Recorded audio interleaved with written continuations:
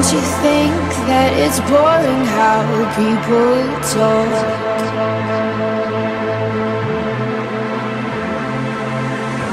Making smart with their words again.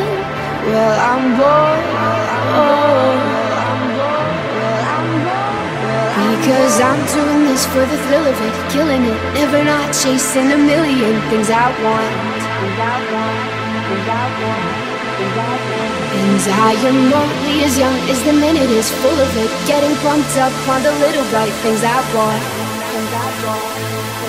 But I know they'll never own me.